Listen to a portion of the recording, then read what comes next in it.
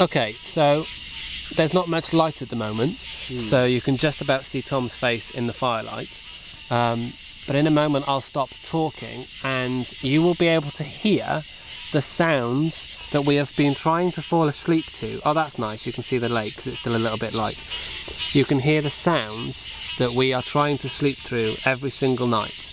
So I will shut up for a moment and then I will try and identify what those sounds are once you've heard them for a little bit.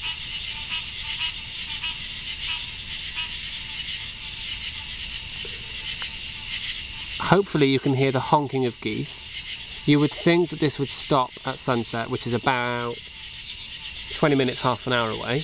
Um, but they don't. They go on until about four o'clock in the morning, I guess. Um, No, I think I woke up about five and they were still going. So they were still going then. They were quiet when we got up at 8 this morning, but obviously sometime between 5 and 8 o'clock in the morning they'll shut the fuck up.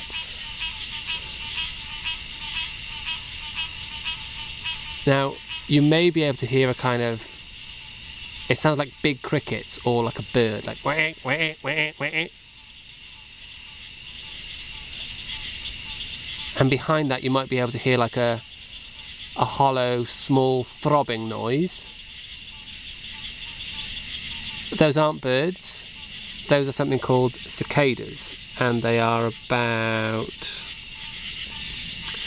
Uh, that's my hand, so they're about that big and about that fat.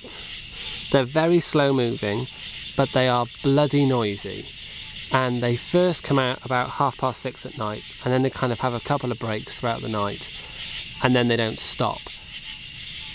That's been the soundtrack to our camping experience in America, full stop, really, hasn't it? Cicadas. Yeah, cicadas. Yeah, that's what America sounds like, hmm even in cities.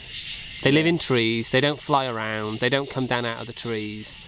Uh, we only saw one when we were in um, where were we? Mammoth oh, Mammoth Cave. Caves. Uh, there was just one on a wall, um, but apart from that, they're harmless. They stay up in the trees and they don't freak you out. Because if you were to see them, they would freak you out because they're ugly-looking things. But they're slow-moving and they're not like cockroaches or anything.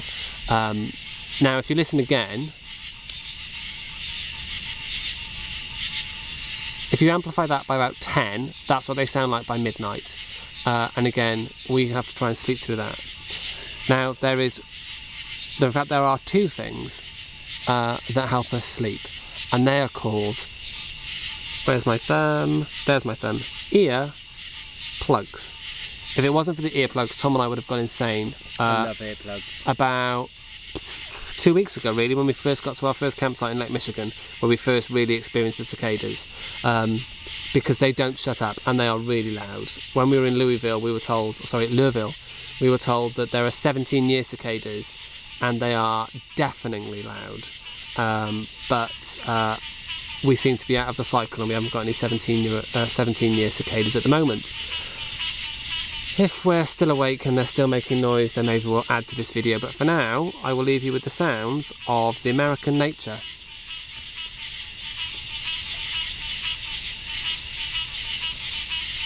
think I just saw a bat. We were leaving them with the sounds of American nature. Sorry. Sorry, viewers, listeners.